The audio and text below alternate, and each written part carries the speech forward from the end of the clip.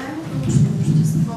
За мен е чест да представя своя доклад пред вас. Ще бъда кратка с оглед времето и с оглед на това, че доклад е публикуван в изпълника. Благодарна съм на доктор Абдулах, че е участвал в сборника, който е направил, свързан с теории и практики, предизвикателства, свързани с религиозната толерантност. Моят доклад е изцяло практически. В него аз ще представя един модел за преподаване на религиозни знания, свързани с между религиозната вероятност. В доклада си ще дам няколко момента, свързани с теоретичната постановка за толерантността. Също, също така ще засегна религиозно-нравственото възпитание, как то се реализира и ще представя нашия методичен опит, как на практика ние осъществяваме модели, в които възпитаваме нашите студенти в тази активност, за която стана въпрос. С етимологичната основа на думата толерантност, което носи понасям в българския аналог е поносимост, стабилност, като цяло термина толерантност означава способността на човека пасивно в така съображение да изтърпява всяко външно въздействие. Толерантността в човешките отношения се свързва с така безконфликтно съвместно съществуване и взаимно признаване на отделните индивиди, различните култури, етноси и религии.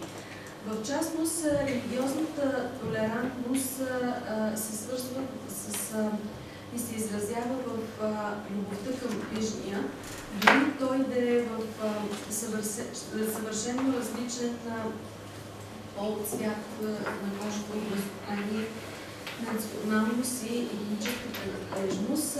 Толерантният човек, както споделя Дидро, морално е това, което се основава на принципите на човечността. Религиозното чувство е присъщо като феномен на човешкия дух и изследователите го приемат за религиозност, т.е. присъщата религиозност, пределната религиозност, защото в нея се отглежда идеята за крайното и безкрайното, за метаморфозата на живота, едно състояние в друго. Всъщност всяка една религия има значение за конкретния човек и е част от неговия живот само тогава, когато той е споделя, изповядва и е приобщен към дадена нация. Или, най-общо казано, ние тук сме хора, които се занимаваме с а, наука. А, вярата не е необходимо условие за хората в научното общество, но при всички случаи тя помага и дава съвсем различен кръгозор. Тоест един вярващ човек, занимаващ се с наука, той смята, че някои неща получава свише от Бога. Теоретичната обосновка, свързана с международната междурелигиозната толерантност е въпрос, от чието решение зависи бъдещето и съдбата на света. Тук професор Градев много добре казва в своето изложение, че ние трябва да се стремим към този диалог, далече от феминизма, съвременността и омразата. Сега ще дам пример за истинността на учението и религиозната доктрина с личността от християнската религия, именно Богочовека Исус Христос, който смята, че е, в Евангелието е изказана и така максимата на толерантността с евангелските истини. В Евангелието по Лука 6 глава 31 стих, където се казва, че както искате да постъпват с вас човеците, тъй и вие постъпвайте с тях. Всъщност това е главното правило на нравствеността и църквата има своята душа, пастирска, спасителна и възпитателна мисия.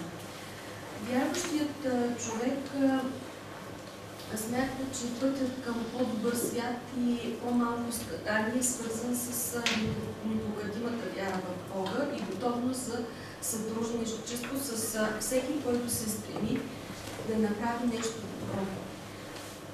Стана вече въпрос, че един вярващ човек, той има съвсем различен духовен светоглед, умее да живее с различни технология, проповядва благотворителността като своя основна добродетел. Тоест да приемем различието на ближния, в това се състои изпълнението и на Божия закон на, чрез християнството човеколюбие. Тъй като на всеки един от нас е дадена свободна воля, ние имаме възможност и право да избираме своето поведение и начин на живот. Именно за това, това поведение и начин на живот, смятат ние, че трябва да се възпитава в посока на тази толерантност, а именно свободата на съвестта е нещото, което ни кара съзнателно или а, самосъзнато да имаме желание да вървим по този път и към този а, стремеж. Контекста на религиозното образование са нужни добри лидери и духовни авторитети. Всъщност това е нещо, което може да даде ясната ценностна система и стремежа да бъдем като тези лидери и личности. Ще дам пример отново с християнската религия. Такъв авторитет е в човека Исус Христос. Сега, конкретно за академичния модел, за който става въпрос в описа по доклад, е, че ние се стремим вече в тези 14 академични години да възпитаваме нашите студенти в посока на този религиозен диалог. Обучението се извършва конфесионално, наддинационално в позицията на Светския университет използват интерактивни методики в образователния процес, който има, тези методики имат доказани положителни резултати. И се стремим колкото се може нашите студенти да получават освен знания.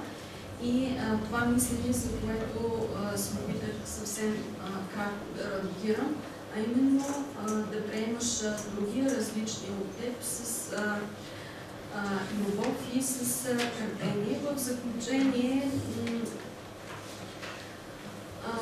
искам да споделя, може би това са мисли, които вълнуват всички нас, че в днешния утрешния свят постоянно се появяват тези проблеми, свързани с търпимостта между хората.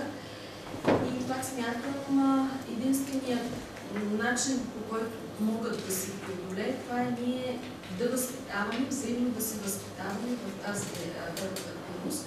Специално в България конституционно това е регламентирано и религията е официално прокламирана, всеки може сам да я избира. А, също, ако се обърнем към авраамистичните религии, монотеистичните, ще видим, че и в Тората, и в Библията, и в Корана има конкретни цитати, свързани с мира. Въпреки наличните различия, трябва с Божия помощ да хората всички да търсим този синхрон, да се обединяваме да живеем за да можем творчески да се развиваме.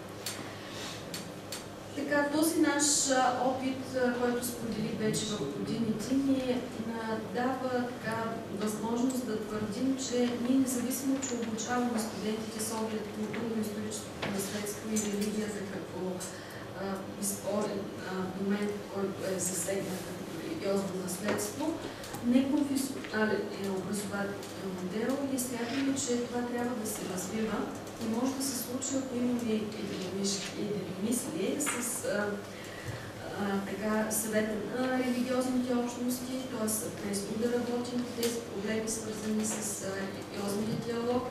Също така очакваме подкрепа на ниво православна църква, сътрудничество между държава и църква, може да бъде преодоляна кризата, която съществува в облаке ценностей. Рязко Аня Кропка.